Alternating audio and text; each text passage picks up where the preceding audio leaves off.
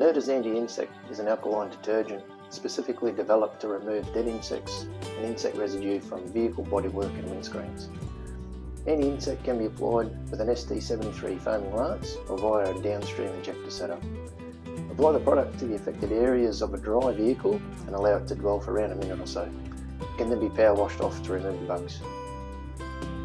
Anti-insect also works as a concentrated pre-wash to be used in conjunction with a foam on soap like Carnet Jumbo or Active Diamond.